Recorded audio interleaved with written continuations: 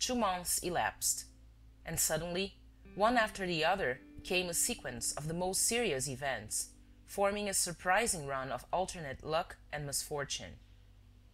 On the first of February, at half past five, Monsieur Gerbois, who had just come home with an evening paper in his hand, sat down, put on his spectacles, and began to read. The political news was uninteresting. He turned the page, and a paragraph at once caught his eye, headed Third drawing of the Press Association Lottery. First prize, one million francs. Number 514, Series 23. The paper dropped from his hands. The walls swam before his eyes, and his heart stopped beating. Number 514, Series 23, was the number of his ticket.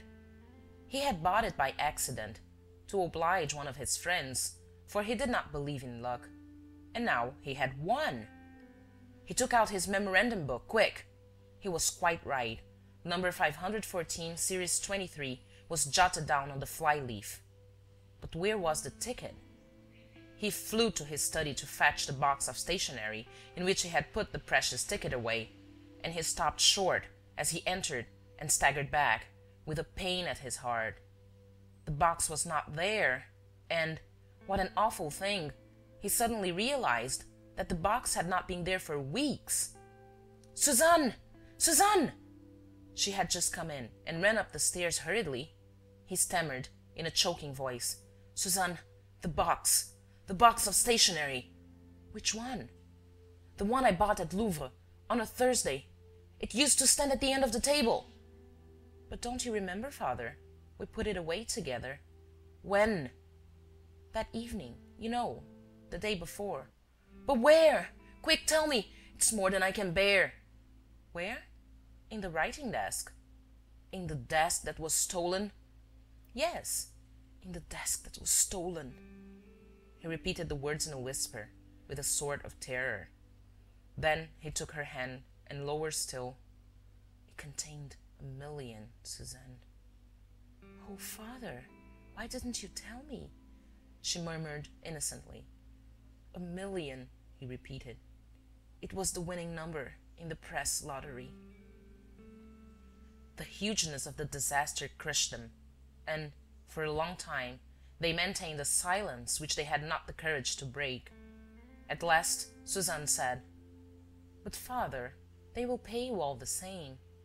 Why? On what evidence? Does it require evidence? Of course! And have you none? Yes, I have. Well? It was in the box. In the box that has disappeared? Yes. And the other man will get the money. Why, that would be outrageous! Surely, father, you can stop the payment? Who knows? Who knows? That man must be extraordinarily clever. He has such wonderful resources. Remember, think how he got hold of the desk. His energy revived. He sprang up and, stamping his foot on the floor, No, no, no! he shouted. He shan't have that million, he shan't! Why should he? After all, sharp as he may be, he can do nothing either. If he calls for the money, they'll lock him up. Ha! We shall see, my friend. Have you thought of something, father? I shall defend our rights to the bitter end, come what may. And we shall succeed. The million belongs to me, and I mean to have it. A few minutes later, he dispatched this telegram. Governor, Crédit Foncier, Rue Capucine, Paris. M owner number 514, series 23. Opposed by every legal method payment to any other person. Gerbois. At almost the same time, the Crédit Foncier received another telegram. Number 514, series 23 is in my possession. Arsène Lupin. Inscreva-se no canal e ative o sino de notificações para receber mais conteúdo e elevar o seu nível de inglês.